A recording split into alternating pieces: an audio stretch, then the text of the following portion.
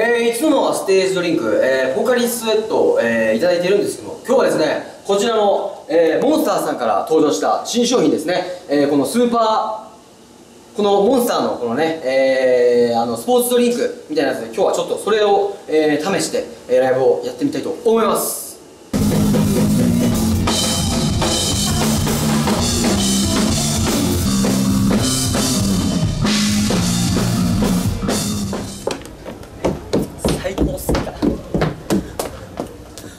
大阪フォ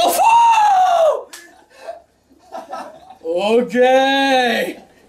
ーオッケー。やばいな。